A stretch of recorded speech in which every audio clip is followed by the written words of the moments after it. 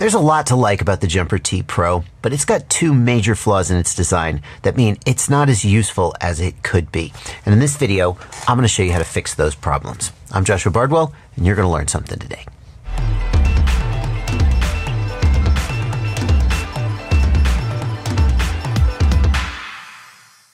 The first problem that we're going to fix with the Jumper T Pro is the shoulder switch. The shoulder switches are momentary switches, and that means that there isn't any two position switch on the radio for arming. Arming, disarming, two position switches kind of makes sense, doesn't it? Now, in my original review of this radio, I showed a method to turn one of these shoulder switches into a toggle, so each press would arm and then disarm. But in this video, I'm going to show you some ways to improve on that relatively simple and some would argue unsafe setup. The other problem that we're going to fix in this radio is these six position switches. Now, in a minute, I'm going to show you how to make this six position switch act like the six position switch on other radios. There's actually a new function in the Jumper T Pro that I didn't know about when I reviewed the radio, and you're not going to want to miss it. So if we press the menu key and then the page key to go to model setup, there's a new menu here that I've never seen in OpenTX before, and it's here, the function switches menu. And this is one way to address one of my big complaints about the six position switches on this radio, which was that they were exclusive to each other. That if you enabled number one, and then you enabled number three, number one turned off. They weren't actually six individual independent two position switches. We can fix that right here. And the way we fix that is to go and change this last number here. This number here groups the switches into exclusivity groups, where only one switch in that group will be allowed to be on at a time. So right now they are all in group number one, which means that only one of them can be on at a time. I could take and I could put uh, the first two of them into group number two. And that means that switches one and two would be exclusive with each other. Only one of those could be on at a time, or they could, or they could be off and then switches three, four, five, six are in a separate group where only one of them can be on at a time. Or what I could do is this. I could just change it so it's a dash. That means the exclusivity is disabled. And now you can say I've disabled the exclusivity for all of them. Check this out. I can enable number one. I can enable number two, three, four, five, six.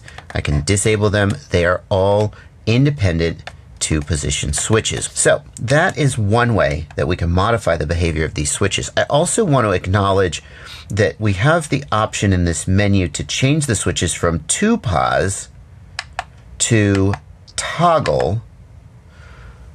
And I I have played with this for about 45 minutes and also uh, It's Blunty has one of these radios and he has played with it and we can't figure out what toggle does.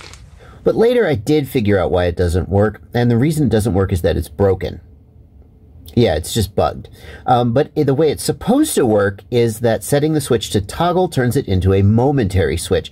And that's pretty cool because this radio has two momentary switches, which, spoiler alert, we're going to use for arming in this video, at which point you'll have no more momentary switches. So like, how are you going to use a buzzer or, yeah.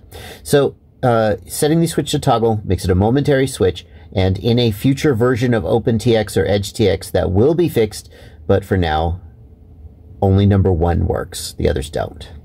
I guess that's one momentary switch. One last thing as long as we're here, just don't want to miss this. You can also, right down here, change the default switch position for all six of these switches, whether it's on or off. In the same way that you would like flip one of these three position switches and leave it in a certain position so your quad had some mode active or disactive, deactive when you first power it up. Next, you're going to learn how to make that six position switch act like the six position switch on all the other radios with six position switches. I'll just be down here if you need me. In order to fix this, I'm going to short press the menu key to go to the model select screen, and then I'm going to page to the mixer screen, and that is where we control what is output on each of the channels of the radio rel relative to the input switch positions and so forth. And I'm going to scroll down and I'm just going to pick one of my unused aux channels, 5, 6, 7, 8, any of those will do. I'm going to click the jog wheel to create a new mix and the source for that, I'm going to scroll down and highlight source, click the jog wheel one time. Now source is blinking and I'm going to press that first switch. Now when I did that, it picks up the switch that just turned off. I wanted to read switch 1, not switch 4. So I'm going to press that again, and now it will pick up switch 1 as the source for this mix. Now, if I press the return key to back out of the menu, I just want to show you what that actually does to the channel. So here on the main screen, I'm just going to press the page key to get to the channels monitor and you can see what happens when I click this switch. Notice that when I click this switch, channel 5 goes from negative 100 to positive 100. It goes from all the way down to all the way up. Well, that's not quite what we want. Because what I want to do is have each of these switches cause the channel to go to a different unique position. So switch one causes it to go to, let's say, all the way down. Switch two causes it to go to like a little bit further up. Switch three causes it to go to a little bit further up from that, and so on. So here's how we're going to do that. So the first thing we need to do is we need to create a default channel position for when none of the buttons are pressed. And that makes sense that that would be like minus 100% all the way down. We'll click the menu key one time and then page to the mixes screen. We'll scroll down to channel 5 where we've got that switch 1 mix we created.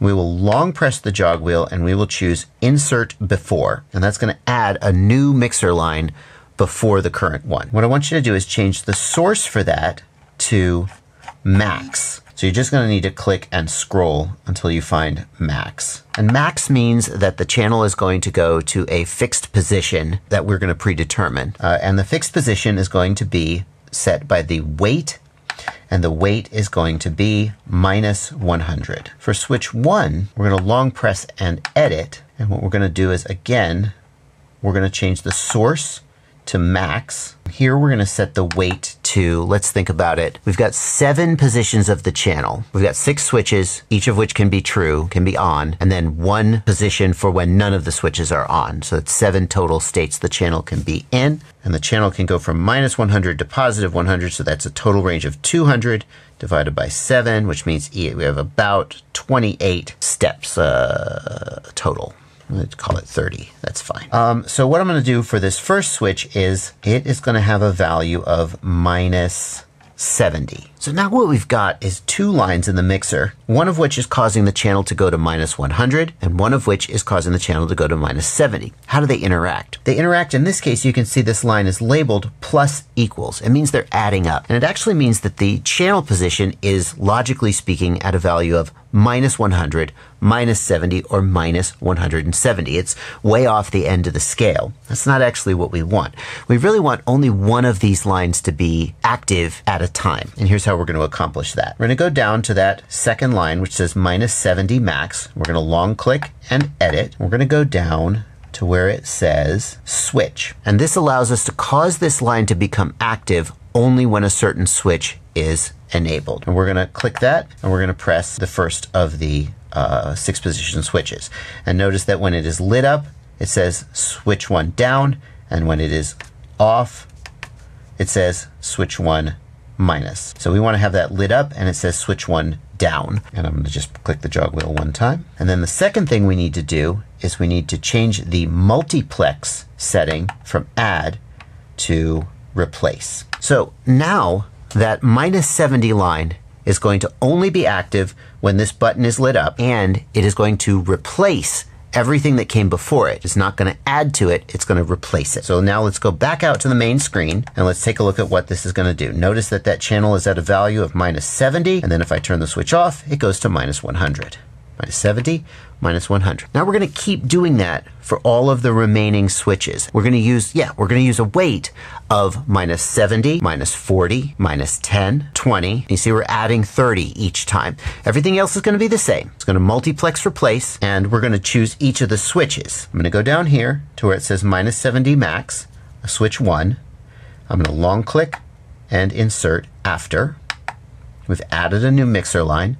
The source is going to be max. I really wish there was an easier way to get to max, but I don't think there is. There it is, max. The weight for this one is going to be minus 70. Then we're going to add 30, so it's going to be minus 40. Our switch condition is going to be switch 2 lit up, and our multiplex is going to be replace. Oops, I made a mistake there. Do you see that I have 40 in there as my weight, not minus 40? That's a mistake. Let me fix that. There we go. I want minus 40. And now I'm going to do that for all the remaining switches, and I'll catch right back up with you. By the way, there is a shortcut you can use that might speed this up a little for you. If you just long click one line and choose copy, and then scroll down one click, it'll just make a copy of the previous line. So at the end, here's what your screen should look like. The very first line is minus 100 max, and that's just the default situation that the channel is going to be in when none of the switches are activated. And then we've got each of the switches.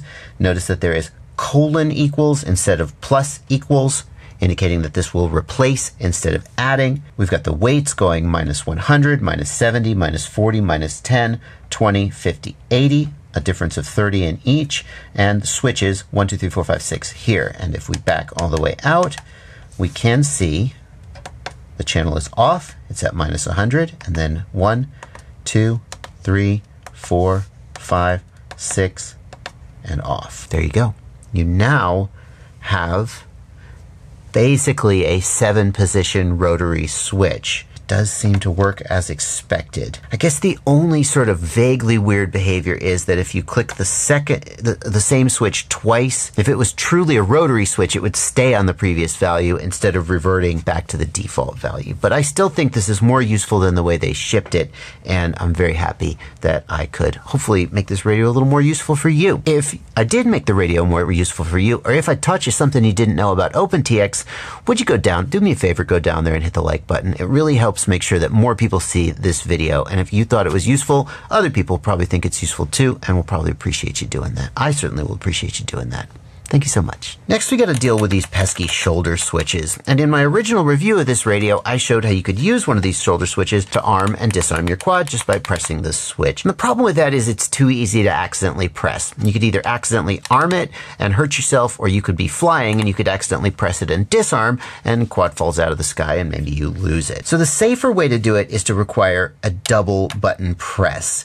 And I got to acknowledge, Albert Kim has done a tutorial about how to do this. And when I saw he had a tutorial about how to do it, I intentionally didn't watch it because I wanted to figure out my own way of doing it. And if it's the same as the way Albert did it, then I want you to let me know down in the comments. Or if it's different than the way Albert did it and he did it better, I want you to let me know in the comments. I'm going to be watching the comments and we'll see if great minds think alike or if he's smarter than me. Or maybe I'm smarter than him. So here's how I would go about it. I'm going to short press the menu key to get to the model setup and then I'm going to page and this is going to involve what's called logical switches. Oops, I overshot. Uh, if you overshoot a page, just long press the page button to go back by one. If you watched the full review of that video, you are, of this radio, you already knew. And in this case, I'm going to ask you to just follow along with me because this is a little more in depth uh, and maybe I'll do another video about logical switches in OpenTX if that's something you're interested in. So I'm just going to highlight L01 here. It doesn't matter which one you highlight. It's just that's the first unused one. I'm going to click the jog wheel one time to create a new logical switch function. The function I'm going to click and I'm going to roll the jog wheel to select AND as the function. And then I'm going to highlight V1 and I'm going to click so it's blinking. And I'm going to click the left momentary switch one time and it'll fill in SC down. And then I'm going to go down to where it says and switch. I'm going to click the jog wheel and I'm going to click the right momentary button so it says SD down. And what we've done here, you'll notice if I hold down the left switch, it shows V1 because the switch SC down becomes bold, indicating that condition is true. And if I hold down the right switch, switch SD down becomes true. And when I hold both of them down, switch LO1 becomes true. Logical switch 1 is going to become true when both of those switches are pressed at the same time. I'm going to then back out once and back out once again. And then I'm going to go down to LO2. And this one, you really are going to just have to follow along with me because it's going to involve a thing called sticky switches. And sticky switches are even more complicated to explain. But we're going to select function sticky. And V1 is going to be LO1. Can I long press? Yes, if I long press the jog wheel, I can select logical switches and it's going to bring LO1 right up. That's very easy. And then for V2, I'm going to click once so it's blinking. I'm going to long press. I'm going to go down to logical switches and that will take us right to LO1 just like that. And what that's going to do, the way a sticky switch works is each time it act, there's, there's one condition that activates it and one condition that deactivates it. In this case, that's the same thing. It's switch LO1. And then if we just return out to the logical switches screen, you'll see is that if I hold both of these switches at the same time, switch LO2 is going to alternate between on and off. So holding either holding those both those switches down in any order is going to flip that switch. The last thing we need to do then is go back and set that up actually as an aux mode that will cause our quad to arm and disarm. The way I'm going to do that is I'm going to page to the mixes screen and I'm going to need to just pick an aux channel to control my arming and disarming. And well, I've already used channel five for these six positions, so we'll just go ahead and use channel six. It doesn't really matter. Hey there, guys. Joshua from the future here, hanging out with my doggo. He doesn't like being on camera, so I'll make this quick.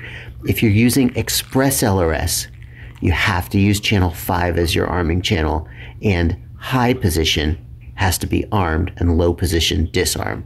Who's good boy? I'll click the jog wheel one time. I'll choose the source for this mix. I'll click one time so it's blinking, and then I will long press and go down to logical switches, you son of a beast. What? Oh, of course, logical switches aren't there. There, well, anyway. I'm going to roll the jog wheel until I find LO, uh, LO2, which is the logical switch that will now control this channel. So if I back all the way back out to the main screen and page to the channel monitor, what you'll see is that channel 6 is all the way down, and if I click both the shoulder switches, it becomes all the way up.